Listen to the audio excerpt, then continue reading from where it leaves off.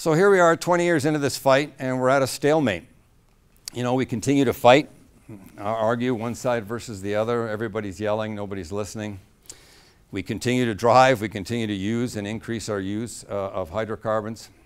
Uh, we still need natural gas for both power generation and to heat our homes and our offices. Uh, I'm, sur I'm, sure many of you have noticed it gets pretty darn cold in this country. We're flying more and more. We're increasing our environmental liabilities because uh, we don't have a, uh, a functioning energy industry at this moment. Foreign capital uh, is a virtual stampede, to use a well-known phrase here in Calgary, is a stampede out of the country. You know, that's not a good thing. And of course, our federal deficits just keep increasing because uh, capital is escaping this country. And again, that's a loss of employment, it's a loss of uh, tax revenue, it's a loss of tax base going forward, both corporate and personal.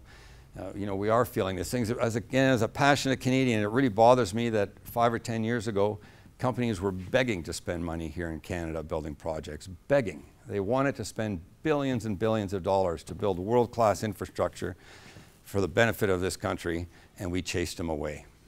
Let's, you know, let's put our thinking caps on. Let's start doing things a little differently. So we've shot ourselves in the foot. 20 years of fighting. We're not reducing emissions. You know, the uh, special interest groups aren't winning. The energy industry isn't winning. Canada's not winning. So maybe, just maybe, it's time for Plan P. Let's do things a little differently.